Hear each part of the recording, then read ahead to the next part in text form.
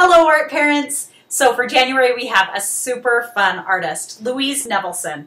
She was originally from Ukraine, but um, was American. She moved to America when she was six years old and lived in Maine. And her parents, her dad was a lumberyard owner and woodworker, and her mom um, was really flamboyant. It was recorded that she had some pretty severe depression, and um, maybe as compensation, maybe as a cure, she would dress the girls up and herself up in these very elaborate old world style dresses that kind of she said they belonged in an old world palace not an everyday Maine.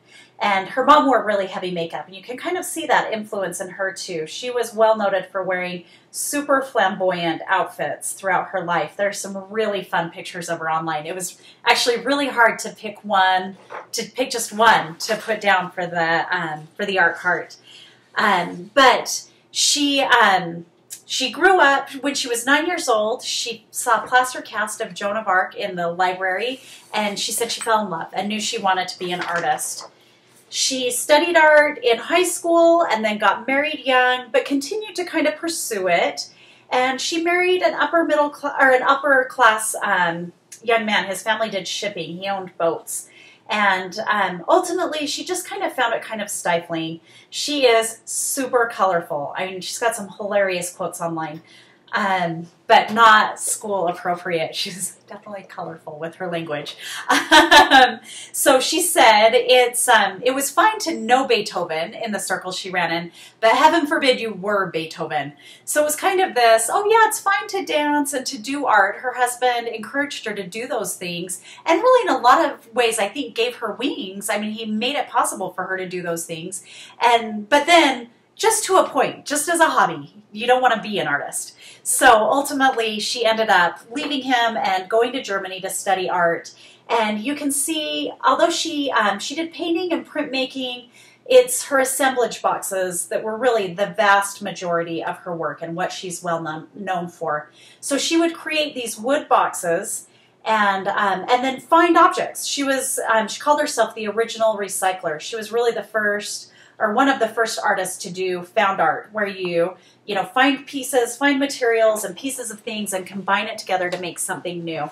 And so here is an up close view of one of those assemblage boxes.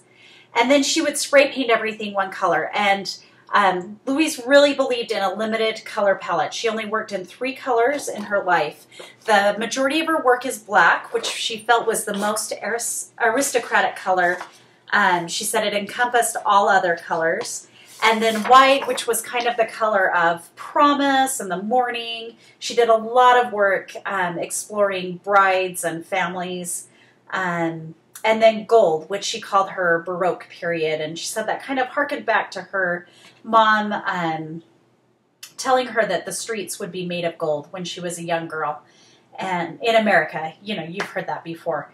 Um, so yeah, so those three colors. And the kind of the fun thing was most of her work was put together in these boxes that she would then take apart after the um, after the exhibition or after the gallery showing and combine them into a new piece. She add them with new things and make a new piece out of it. So she really was an ultimate recycler. It's kind of awesome.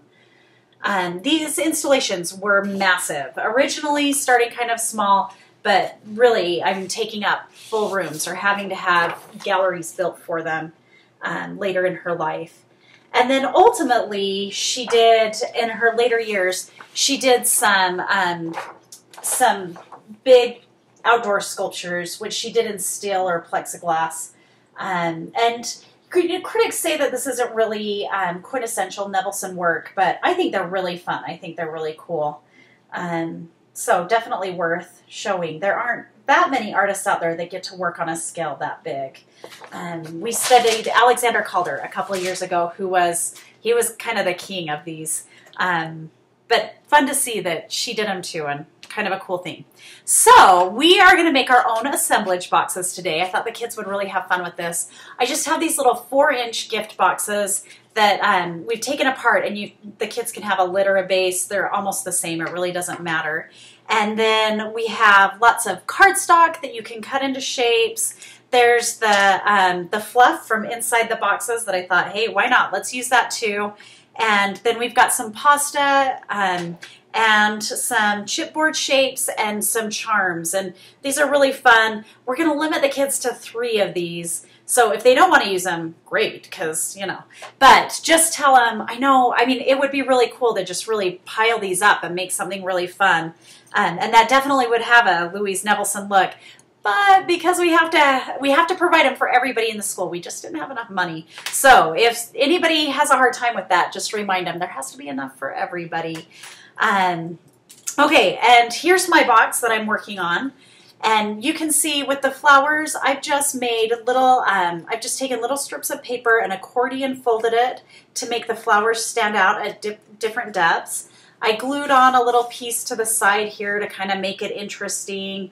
The other way we can add some depth is just to take a strip and then um, fold it into a little box. And you want to do fifths so that you've got an area right here that you can glue and then you just end up with this little box that you can, I mean, you could layer these up and make something interesting, or you can use this behind something to give it a more stable back than the accordion fold.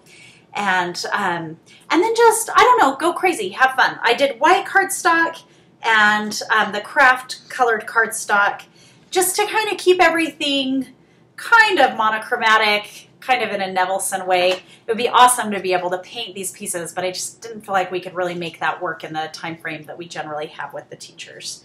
And um, so I also have glue sticks available, which are easier, you know, they dry faster, so they're easier for some things. And then for the things that you need um, a little bit more adhesion, go ahead and use the white school glue. I thought for this, to kind of make my site interesting, um, oh, should have checked and seen if the glue had a plug in it, huh? Just hang out for a minute.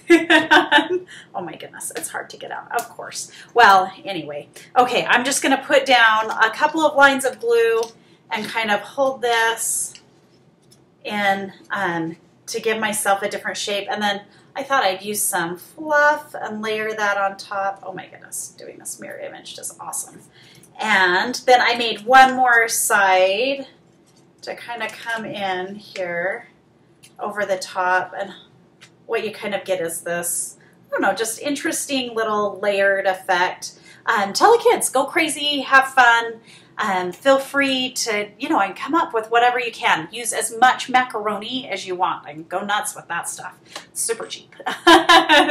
so have a good time. Louise Nevelson, really fun artist. She was great for the, um, just for the feminist movement. I mean, she was definitely a big part of the feminist movement, but she said ultimately, I'm not, she said, it's not about feminism for me. I'm an artist. And if I were a man, you would like my art. So like my art because I'm a woman, it's the same art. It doesn't matter. Um, so kind of a fun lady, colorful. I mean, her quotes online are, hilarious and a little bit crazy, um, but a really fun artist. Those that time in the '60s, I mean, there are kind of these decades every scattered every once in a while, like the 1880s, the 1920s, the 1960s, where things just got a little bit crazy, and it produced some really fun and interesting artists from that time. And Louise Nevelson is definitely one of them. I hope you enjoy it. Hope you enjoy doing it with the kids. This is an easy project, so easy, fun one to do. Thanks so much.